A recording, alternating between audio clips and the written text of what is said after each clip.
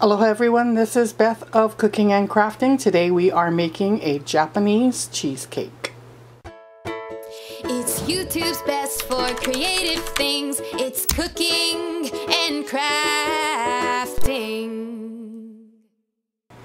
I started doing several things. I have water that I set to boil on the stove.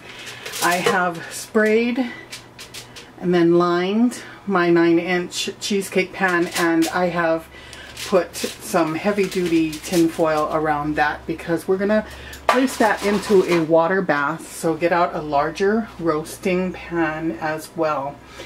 So now we're gonna set that aside, preheating the oven to 320 degrees in the um, bowl here.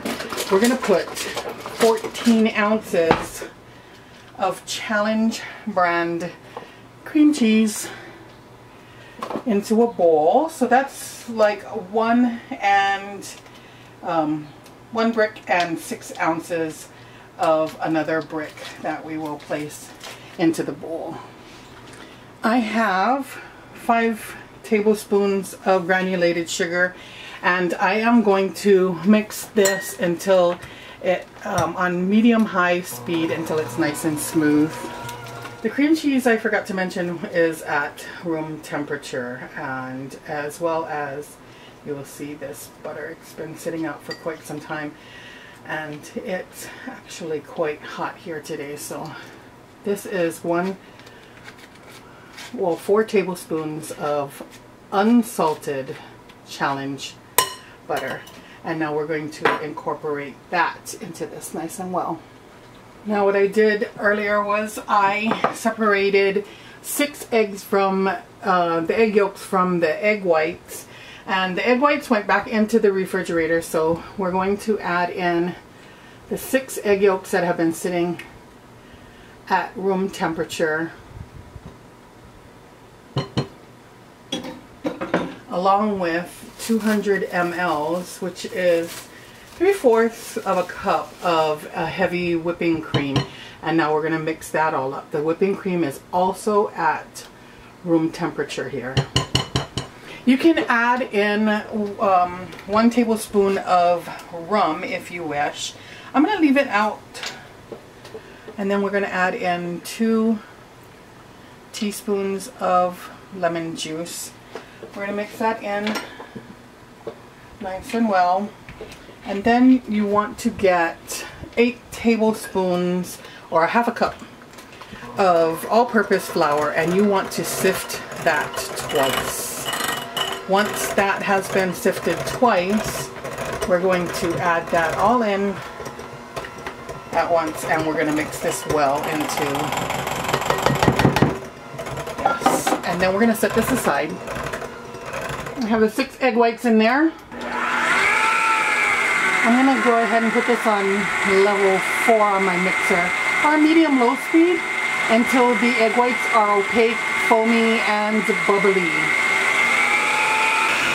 I have a um, total of a half of a cup of granulated sugar.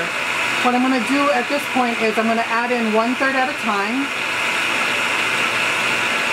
And then once that's mixed in, I'm going to turn this all the way up to high speed for four minutes until we have achieved stiff peaks.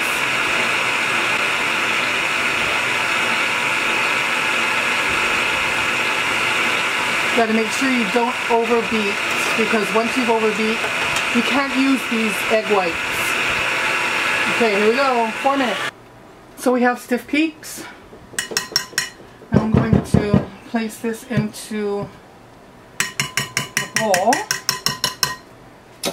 what we're going to do is we are going to place one third of it into the bowl.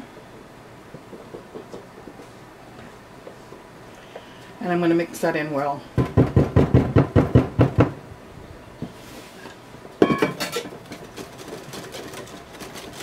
This part we don't have to worry about, you know, flattening the, the, the egg whites because the next part is the part where we're just going to fold the rest in. Alright, so these are in nice and well. And now I will place the rest in here. And we will just fold that into here until it's all incorporated. And then we're going to pour that into our cheesecake bowl. Mm, the sun is playing a number on my video. I'm sorry. Alright, so now we're going to take this up about two to three inches high and we're going to bang that and make sure that we oh, make sure that we rearrange everything in our sink. We want to get all the air bubbles out or as many as you can. And it looks like that will be it. Now I'm going to place it into the roasting pan and fill the boiling water about one inch up the side of this. So make sure you have the, um, you know, the heavy duty um, aluminum foil. If not, then double wrap it with regular aluminum foil. And this goes into the 320 degree oven for 60 minutes or until it is light and golden brown. Then we're going to reduce the heat for another 30 minutes to 300 degrees Fahrenheit. So after the 60 minutes, I um, decreased the heat to 300 degrees for 30 minutes. And then when it was done and it came out, you know, with um, no cheesecake on there, um, wet cheesecake on there, you turn the oven off and you leave the door cracked for 15 minutes. So now I'm going to allow this to cool on the wire rack while I get together our um, jam and put that on the top of the cheesecake.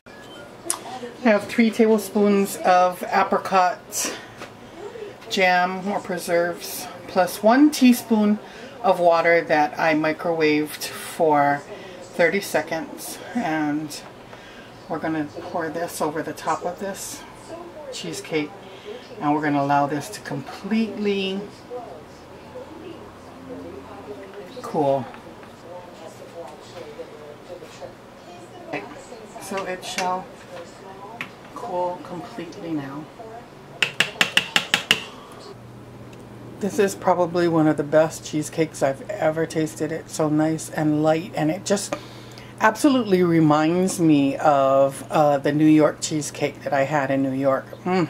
Yummy, yummy. Enjoy. I come out with videos every Monday and Thursday. Have you subscribed? If you subscribe, it keeps you up to date with all the videos that I come out with during the week. Don't forget to give me a thumbs up for this video. I would surely appreciate it. And share my videos on your social media. Thank you.